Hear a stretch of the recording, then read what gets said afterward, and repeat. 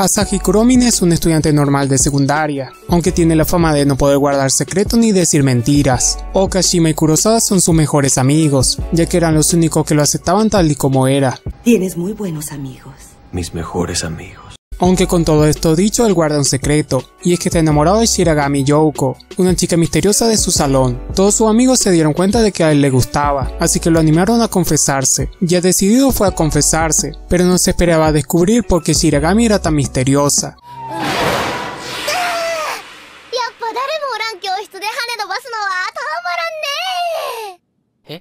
Ella le explica que imita vampiro por parte de su padre, y que ahora debe irse de la escuela ya que ningún humano debía saber esto. Aunque es difícil para él, le prometió guardar el secreto, y aunque no era lo que él quería, le pidió ser su amigo. Obviamente quería que ella fuese su novia, pero los nervios le ganaron y ahora se arrepiente de eso. Entonces eres más tonto de lo que supuse. Nagisa Izawa es la estricta presidenta de la clase. Anteriormente, como la había mucho, creía que él estaba enamorado de ella, y le terminó dejando claro que a ella no le gustaba. Aunque había pasado esto, en la actualidad empezó a sentir celos de ellos. Esta cosa es real, hijo. Más tarde Kuromine le pregunta a Shiragami si necesitaba beber sangre, pero ella le explica que los vampiros solo podían beber sangre de alguien a quien amasen. Justo cuando Shiragami saca sus alas, Nagisa entra al salón y lo descubre todo, aunque ella también tenía un secreto, y es que era una alienígena.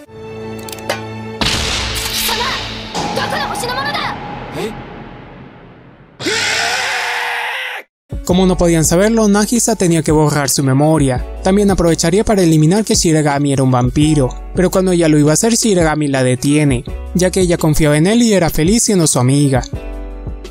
Akemi Mikan es la presidenta del club de periodismo y amiga de la infancia de Kuromine. Ella quiere aprovechar que él no podía guardar secreto para sacarle algunos para su periódico. Ella tenía una grabación de él y Shiragami juntos, así que quería saber qué tipo de relación tenían ellos. ¡Ya valió madre! Ya que se negó, Mikan fue directamente a preguntarle a Shiragami, pero ese mismo día ella había faltado a clases. Preocupado le preguntó a su profesora sobre ella, y le dice que Shiragami había enfermado. Como era el único cercano a ella, le entregó su tarea para que se la llevara. Él fue a la casa de Shiragami y al día siguiente Mikan creó una noticia falsa sobre ellos.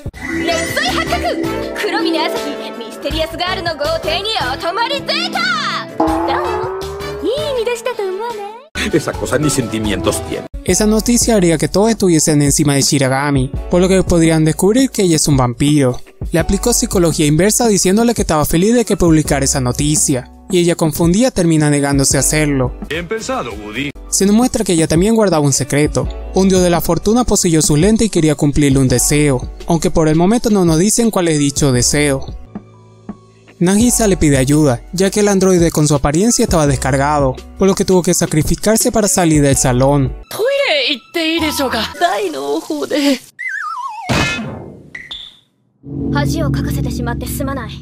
Pobrecito. Para cargarlo debía llevárselo a la enfermería, pero Shiragami termina interpretando lo que estaba pasando. Luego de explicarle, Nagisa sale de la enfermería para asegurarse de que no hubiera nadie, pero es atrapada por Mikan. 今ねちっちゃい相沢さん拾っちゃった Por suerte le hicieron creer que solo era una figura coleccionable. Kuromine pidió que se la dieran, pero quedó atrapado en un malentendido ya que dijo que él fue quien la había creado. Al parecer la directora tampoco era humana, e hizo que Nagisa tuviese un cuerpo de tamaño normal. Shima, Mikan y Shiragami lo estaban buscando, y como estaban solos en el almacén iban a pensar mal de ellos. Así que tuvo la idea de hacerles creer que ella estaba peleando con él por la figura, y minutos después la directora la devuelve a su tamaño normal. Por lo general, Shiragami entraba a la escuela antes de ponerse el sol, pero ya que estaba lloviendo pensó en ir un poco más tarde. No llovió por mucho tiempo y terminó bronceada. Para que su vida escolar fuese más fácil, Nagisa empezó a entrenarla, y aunque su forma de hacerlo parecía inútil, Shiragami pudo aprender bastante de ella. Él creía que los vampiros tenían la misma debilidad que las historias, pero a ella solo le daban ansiedad de esas cosas, y el sol solo la bronceaba. Kuromine tuvo una idea brillante, y es que le recomendó usar protector solar. Inteligente, ¿no? Al día siguiente ella lo invitó a un parque de atracciones para juntarlo con Nagisa, ya que ella creía que se gustaban. Por suerte ella no pudo ir, y Kuromine aprovechó para simular una cita con Shiragami. Ella le cuenta que tenía como amigo de la infancia a un hombre lobo, y casualmente su padre lo mandó para saber si ella seguía manteniendo su secreto. Luego de salir del parque se encuentra con Shiro, un hombre lobo y amigo de la infancia de Shiragami. A diferencia de las historias, en vez de transformarse en lobo, aparecía su segunda personalidad llamada Shiho.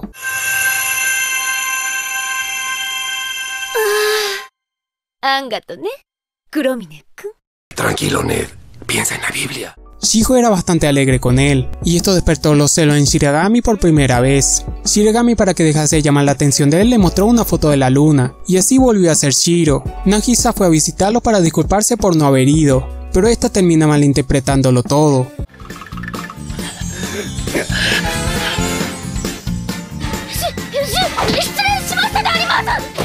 Al día siguiente se llevó una sorpresa al enterarse de que Shiho se había transferido a su escuela.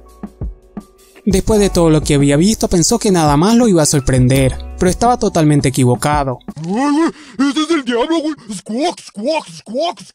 Para saber quién era la persiguieron por toda la escuela, y ella se presenta como Akane, la hermana de su profesora. Poco después se revela que es un demonio de miles de años, y también que es la directora de la escuela. Shiragami tontamente creía que todo era mentira, e hizo molestar a Akane, y por las leyes del fanservice tuvieron un concurso de belleza. Excelente. Aunque no era como esperábamos todos.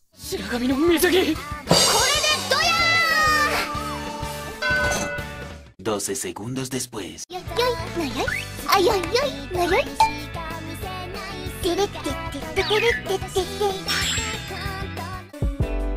ya que había faltado un día llevaba una clase complementaria de cocina, y la mayoría de las chicas que conocía tenían el mismo problema. Su profesora le dejó la tarea de hacer una comida típica asiática, aunque ninguno lo había hecho en su vida. Hacen equipo y lo terminan logrando, pero Nagisa y Shiragami quisieron ponerle más ingredientes.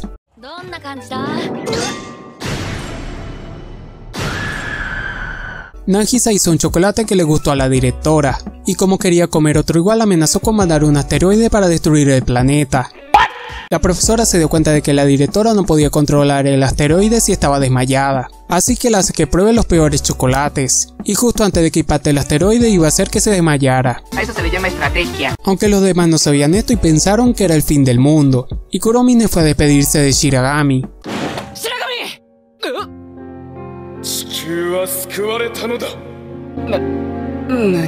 地 Ya que era verano, él aprovechó para invitar a Shiragami a una piscina, y ella creyó que él solo quería practicar su natación, aunque él quería que fuese una cita y ella termina invitando a Shiho y a Nagisa. Okashima y Kurasada se enteraron de que irían, así que terminan yendo con ellos. Ya que Shiragami no sabía nadar, Nagisa vuelve a ser su entrenadora. Nagisa se dio cuenta de lo que él quería hacer y lo ayudó para que practicaran juntos.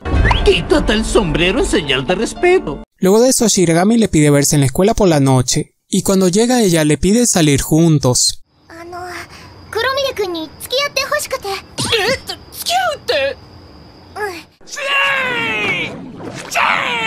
Aunque lo que realmente quería era practicar juntos en la piscina de la escuela.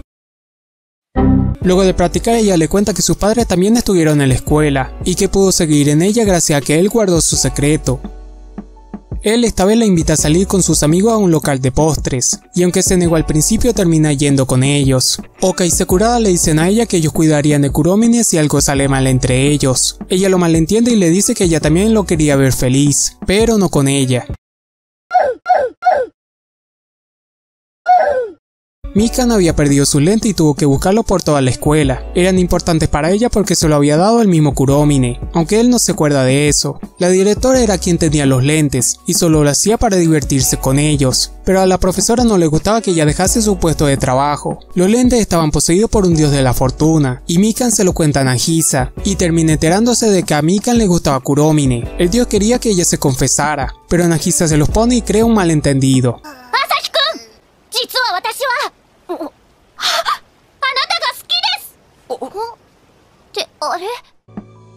Luego de lo que pasó las cosas entre ellos se volvieron incómodas. Kuromine es invitado por Shiragami al festival de fuegos artificiales, aunque esto era una trampa para que estuviese con Nagisa. Jugada maravillosa. Los dos querían estar en el festival, así que no tuvieron de otra que ir juntos. Nagisa se había enamorado de él, pero aún así lo apoyaba con Shiragami. Por fin se encuentran con ella. Cuando le estaban persiguiendo ella tropieza y cae encima de Kuromine, y sin poder más termina aceptando esos sentimientos que tenía por él. En ese momento Shiragami entendió que verlo junto no era lo que quería.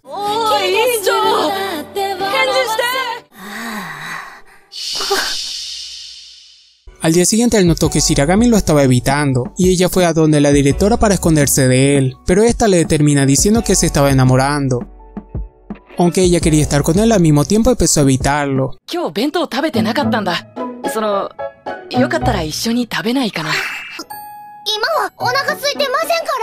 Shiho se dio cuenta de esto y le aconsejó que fuera sincera con sus sentimientos. Nagisa creía que fue su culpa de que todo esto estuviera pasando, y aunque estaba enamorada seguía apoyándolo. Shiragami le pide verse en la azotea de la escuela, mientras Mikan le dice a Nagisa que era obvio que le gustaba Kuromine, y aunque ella no tenía el valor, le dice a Nagisa que debería confesarse. Kuromine se había propuesto a confesarse en la azotea, pero antes de llegar Nagisa le impide que se declare, Ahora todos quieren llamar la atención. ya que si llegaba a salir con ella ellos dejarían de estar juntos. Logró escapar de ella pero no se esperaba de lo que estaba a punto de pasar.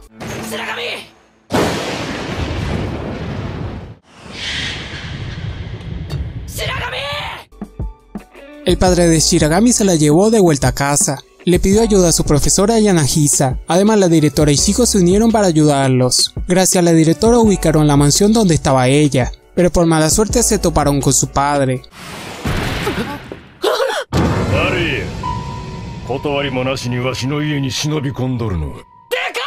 Inagisa logró distraerlo para llevársela, aunque era un malentendido, ya que ella estaba allí para cuidar de su madre. Mientras estaban hablando su padre se dio cuenta de que ellos sabían su secreto, así que esta vez sí le haría que dejase la escuela. Para esconderse de su padre ella lo lleva a su habitación, y se disculpó por evitarlo todo el tiempo. 自分でもようわからんけど最近ずっとなんでか黒峰君に会うと気まずくて避けてしもて Ay, el amor. Nagisa tenía un martillo que hacía que olvidara sucesos importantes. Kuromine le ofreció al padre de Nagisa olvidar todo lo que sabía de ella, pero a cambio él debía dejar que siguiera en la escuela. Su padre aceptó aunque Shiragami no quería que lo olvidara. Por accidente el martillo le cayó en la cabeza de su padre, por lo que terminó olvidando que ellos sabían la verdad. Miren, es mi día de suerte. Como escena final, Kuromine le termina diciendo que siempre guardaría su secreto, dándonos a entender que siempre estarán juntos. Espero que te haya gustado este video resumiendo el anime Jitsuwa Watashi wa, un anime de comedia romance escolar y fantasía. Pronto subiré un nuevo resumen al canal, así que suscríbete para no perdértelo. Yo soy de Top y nos vemos en un siguiente video.